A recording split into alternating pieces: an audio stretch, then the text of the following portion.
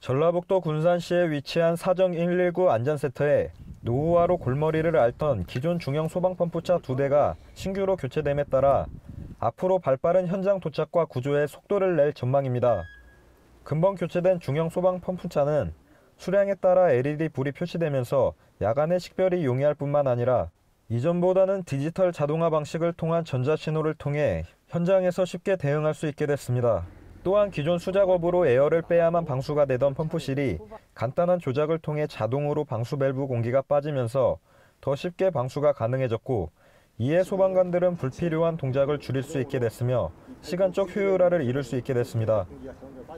현재 군산 소방서에서 운영하고 있는 소방 차량은 총 44대로 군산 관내 지역의 특성에 맞춰 고층 건물을 비롯한 아파트 밀집 지역에 사다리 차를 배치함은 물론 산업단지에 있는 센터에는 고성능 화학차를 상시 준비하고 있어 각종 재난에 선제적인 대응을 하고 있습니다.